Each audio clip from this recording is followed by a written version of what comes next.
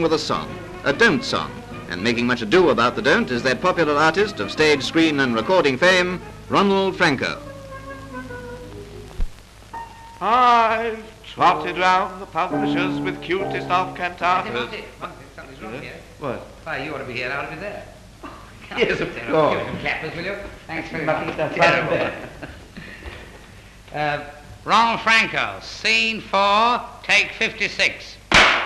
Where shall I get this? Oh, I'll put it over there.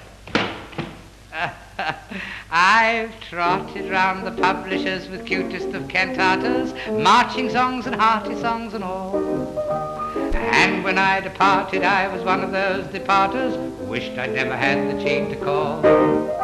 They showed me correspondence, that's what made me depressed. 50,000 letters with the same request. Don't let's sing about the war. Thing's really such a bore. Let's sing of love or something similar, not about Goering, Hess or Himmler. Don't let's sing about the war. We've heard all the jokes before. Let's sing about our British sports and who the willow wheels. So long as we play cricket, we've a side that never yields. So long as Leonard Hutton bats, so long as Gracie fields. Don't let's sing about the war.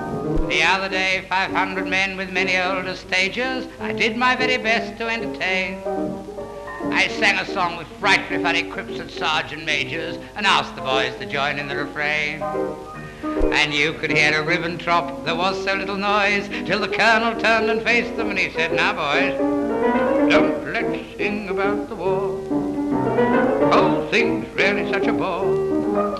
I'd rather hear those Marx blighters, you know, Groucho and Harpo, and jokes about the old poo. Or Gestapo, don't let's sing about the war. We've heard all the jokes before. Forget that Lawrence may be right and Anna may be wrong. And instead of Tipperary and the way that's awfully long, let's have Roll Out the Barrel, Lady Astor's favorite song. But don't let's sing about the war.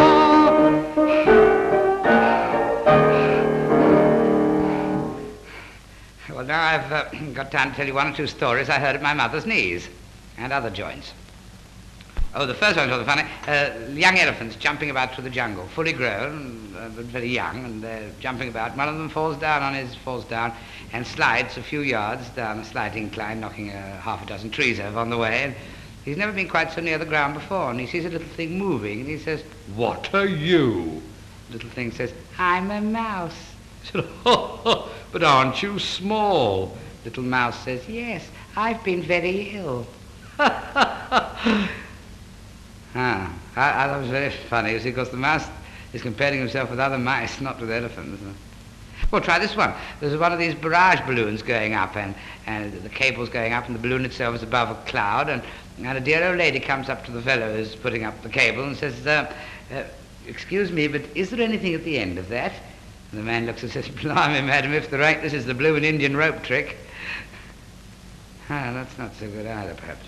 Th- Then there was the, this is my, this is a good one. There's a, um, a doctor examining a patient for insurance, and he's passed the usual test, and he finds his parents lived to a decent old age and died natural deaths, and he says, one or two more questions I want to ask. Do you smoke? He says, no, never touched cigar, cigarette, or pipe in my life. He said, are you married? He said, no. He said, you drink? He said, no. He said, well, two bottles of whiskey a day. He said, what? He said, well, sometimes it's three and sometimes it's one, but it averages out at two bottles of whiskey a day. He says, but don't you notice any ill effects from this heavy drinking? He said, no.